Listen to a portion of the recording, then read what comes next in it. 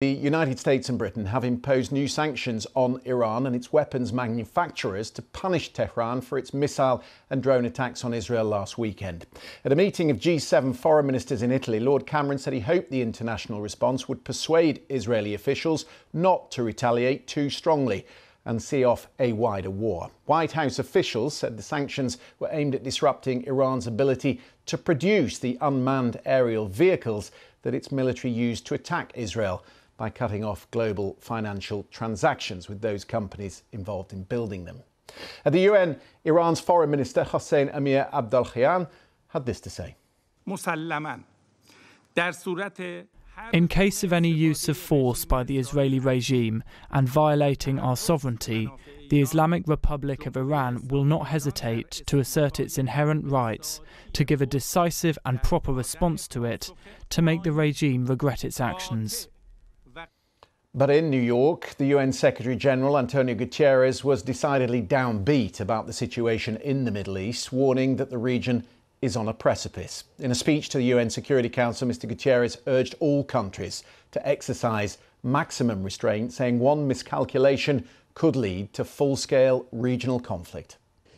It is high time to end the bloody cycle of retaliation.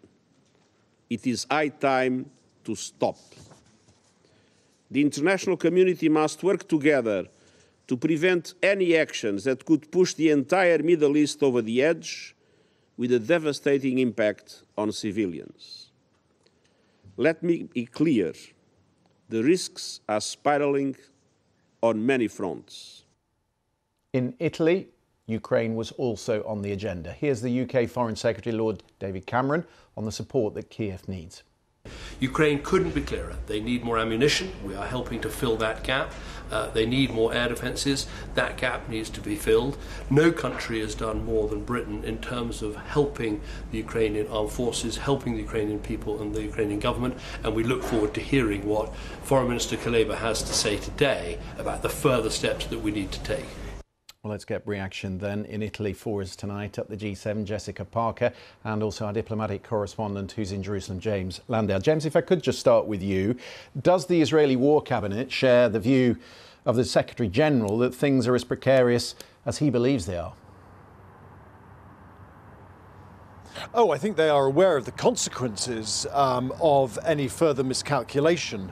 Uh, if Israel's response to Iran's attack at the weekend does trigger an escalatory process. Uh, yeah, no, I think they are incredibly aware of that. But at the same time, they are determined to respond. And I think what they would want to do is respond and then leave it at that. You hear that from spokespeople saying, you know, we need to act, we need to do something. They're aware of the consequences. Whether they are as aware, as concerned as some of their allies uh, have been uh, signalling in recent days, I think remains to be seen. We simply don't know yet precisely what the Israelis are going to do. They, they say they are going to act. We don't know how yet. We don't know when. Uh, there is some speculation, it's no more than that, that it's possible they might delay any action until after the Passover holiday. But again, that could be just people here in Jerusalem um, wishing uh, for the best, a little bit of what's called optimism bias. Yeah. Jess, the, the sanctions announced today were heavily trailed um, ahead of the meeting. Uh, will they mollify the Israelis? Uh, is there any faith in a sanctions regime like this? Because they're obviously not the first sanctions imposed on Iran. No, I mean, I think uh, the UK figures are 13 entities and individuals being sanctioned, uh, as you said, linked to Iran's missile and drone program to add to the already existing 400 sanctions that are in place. But look, I think certainly the hope is from the likes of Lord Cameron um, the British Foreign Secretary, that this will be something they can sell again to the Israelis this idea of a win, uh, an act of solidarity, sending a message uh, to Iran. But it's interesting, um, Lord Cameron, alongside the German Foreign Minister Annalena Baerbock, arrived here to Capri pretty late yesterday because they'd come, both of them, from Israel, where they'd been meeting with Israeli leaders as they were obviously calling on Israel to show restraint um, in response to the Iranian attack. That message has continued here, although it has to be said discussions have now moved on uh, to the war in Ukraine. But I think it was interesting to note that after those conversations that Annalena Baerbock and David Cameron had in Israel, uh, Benjamin Netanyahu was very clear that Israel would be making its own choices. The other discussion in Capri, Jess, was Ukraine. Uh, they're returning to this idea of mm. using the frozen Russian assets or the, the interest accrued from those assets to fund the war effort. How far have they got with that? Because I know it is part of one of the bills that they'll discuss in the US House of Representatives this weekend. Yeah, it seems to be a pretty complicated idea and one, as you say, that's been kicking around for a really long time. And there's been hesitancy before because of uh, legal complexities. As talking to officials here tonight, they say, they tell me the US is pushing this idea, as you say, using uh, frozen Russian assets, uh, the bulk of which are uh, held in Europe um, to use the interest to then get a loan in order to channel money to Ukraine. In terms of whether this is going to happen, obviously we don't know. Uh, the indications I've had is that it certainly won't get over the line at this G7 foreign ministers um, meeting.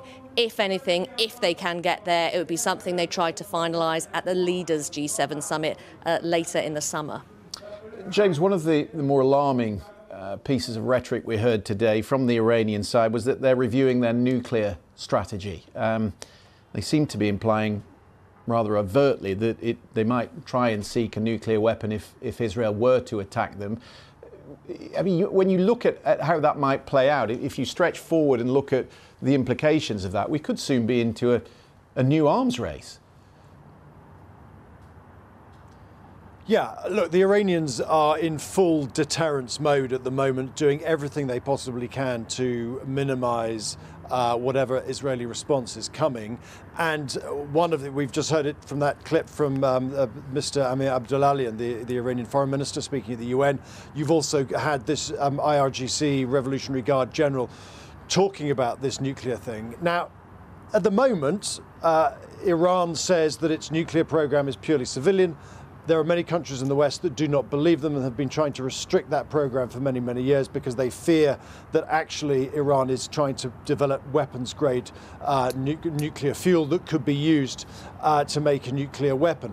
So for Iran to say to become overt about its nuclear ambition, you know, would be a substantial step change. It's part of the attempt to try and persuade the Israelis to minimize their escalation it could have the opposite effect. It mm. could encourage the Israelis to target those nuclear facilities uh, that they have done before and, and could well do again. So, again, every, the Iranians trying to minimize Israel's response, but Israel still being pulled.